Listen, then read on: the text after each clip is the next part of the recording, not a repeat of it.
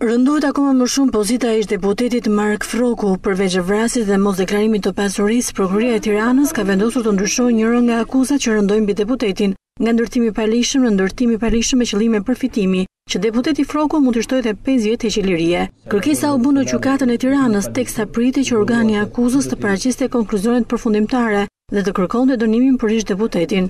Sa i takon veprës penale të ndërtimit të paligjshëm, u provua se ky ndërtim për vlerësimin tonë është kryer për qëllim fitimi, i ndryshojmë akuzën në ngarkim të pandehurit, bazuar në kërkesat e nenit 372 të Kodit të Procedurës Penale, dhe duke ndryshuar akuzën nga neni 199A paragrafi 2 i kodit penal në veprën penale të ndërtimit të paligjshëm i kryer për qëllim fitimi, parashikuar nga 199A.